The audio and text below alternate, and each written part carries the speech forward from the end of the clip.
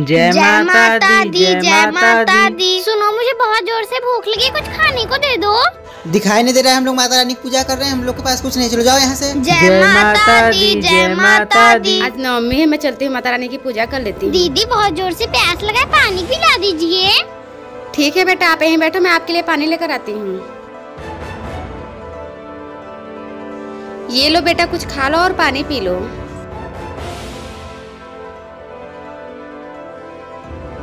रुको बेटा आज नवमी है लड़कियाँ माता रानी की रूप होती हैं। आप मेरे घर आई हो आओ मैं आपका पैर धुल देती हूँ।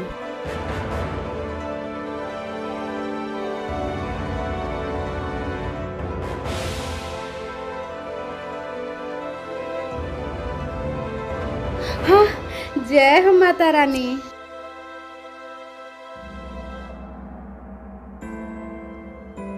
मम्मी आज नवमी है हम लोग पूजा करने कब चलेंगे? बेटा थोड़ा सा काम बचा है कर लेती हूँ तो चलती हूँ। अरे माँ दुर्गा की सोने की मूर्ति?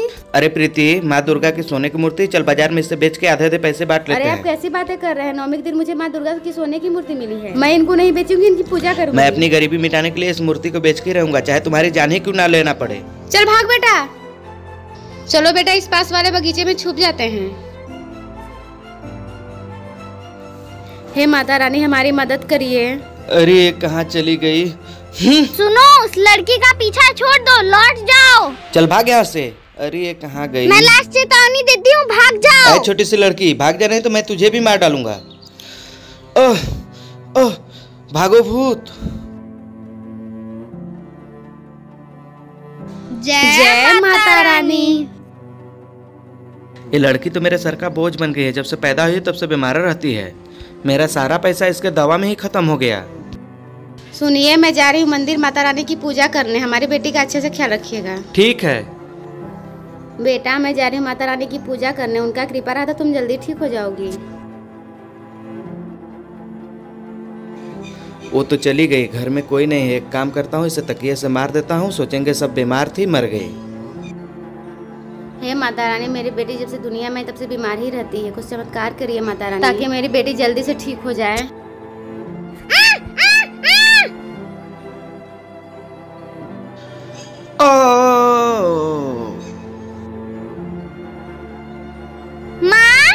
अरे बेटी तू यहाँ कैसे? और ठीक हो गई? जय माता रानी।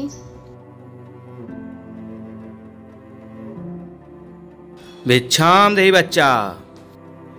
अरे बाबा मैं खुद कंगाल हूँ आपको कहाँ से दूँ अरे बाबा आप हंस क्यों रहे हैं? क्या तुम्हें यही कारण है कि खाने के लाले पड़े हैं? तुम्हारे द्वार पे जो भी आता है उसे बेइज्जत करके भगा देती हो।